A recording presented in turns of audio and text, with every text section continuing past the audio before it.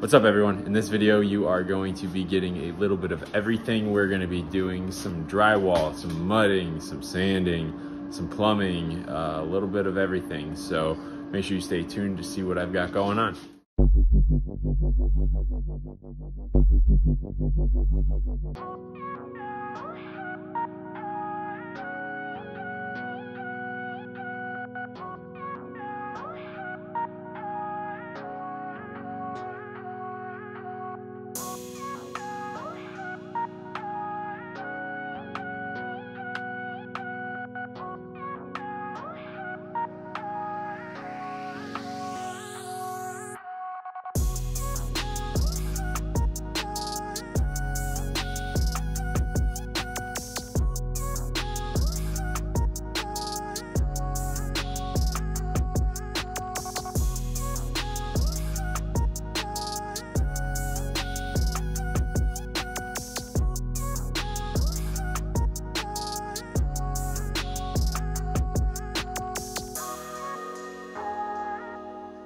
All right, so in that last clip, you saw me do a little bit of sanding. And all I did was take the stick with the sanding block on the end of it and just use 80 grit sandpaper and just went over all of this really quickly and just to get it all flat so I knew where everything was that I needed to fill in.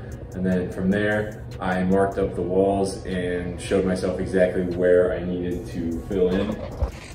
And you can kind of see the different marks for the different spots that I did throughout.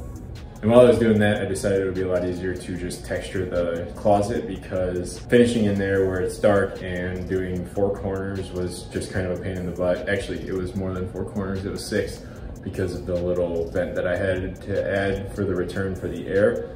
So, I, like I said, I decided to do a texture finish. And all I did was just use this sponge and then ran coats of mud up the wall and then just slapped the sponge on it to make it textured. Now that way I don't have to finish the closet in flat. I'm not a huge fan of that type of finish, but that was way faster than trying to do like three more coats of mud to make it completely flat in there. So that's why I did that. And an easier way for what I could have done was mix a bucket of mud and then roll it on with a paint roller but one, I don't have a paint roller, two, I don't have a bucket on me. So I did not want to go to Home Depot to pick those up. So that's kind of where I'm at. Um, I am probably going to jump into staining the cabinets in the kitchen after I do a little bit more sanding on them, but I need to eat dinner first, so I'm gonna do that.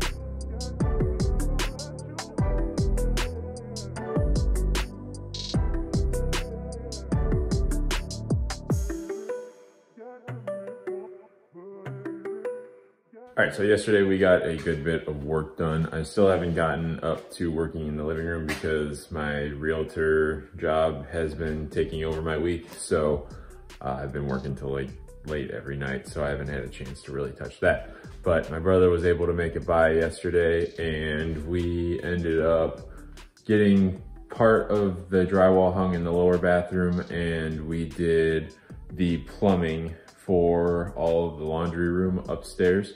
So I'm gonna show you that really quick and explain what we're gonna do today afterwards. So we have the plumbing dropping down from the ceiling there, where, and that's for the washer.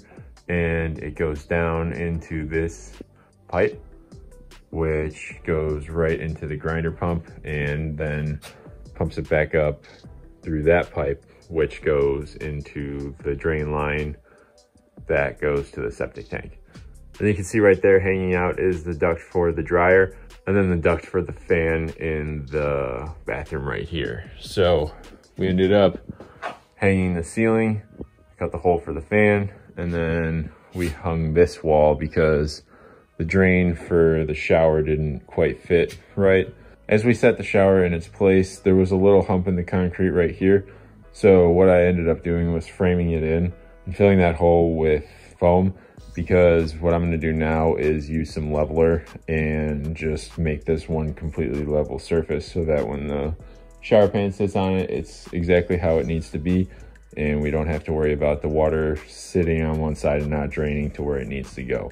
So what I'm doing right now is working on prepping this. It's not the best view, but what I'm gonna do is run a really thin coat over wetted concrete more or less that way we have a little layer that's gonna stick to it pretty well.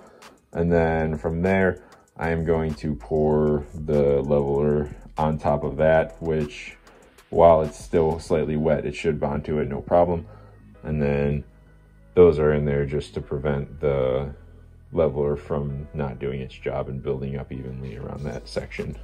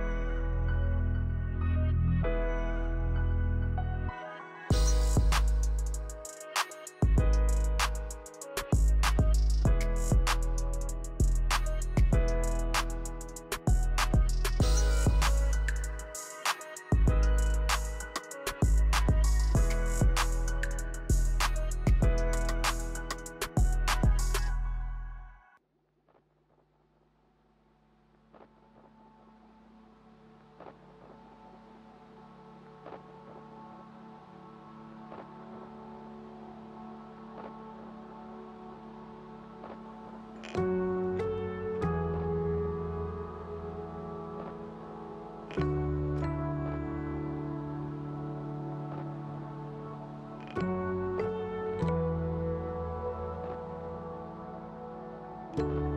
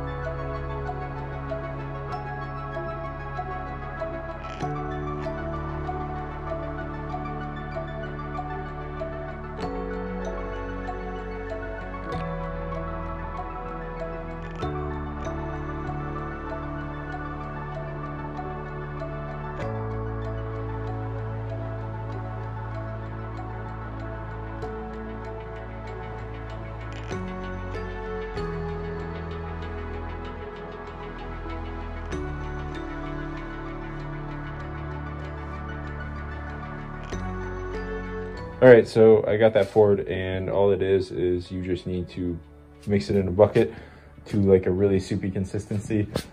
I'll dunk my finger in it so you can see. Um, where it's basically just gonna fall right back down to where it was. It's just a really wet consistency and that's what you wanna shoot for. So it's just naturally going to level each way where I have that hump in the middle and it'll just meet and make a nice level surface. So I'm gonna let, like I said, I'm gonna let that dry for 24 hours or so before I set the shower and then we can go from there. Before I get started on anything else today, I do want to go work out and just get that out of the way before my showings tonight, just so I don't have another super late night. So I'm gonna hit the gym and then we're gonna work on finishing that upper room. I wanna finish sanding and get a coat of paint on.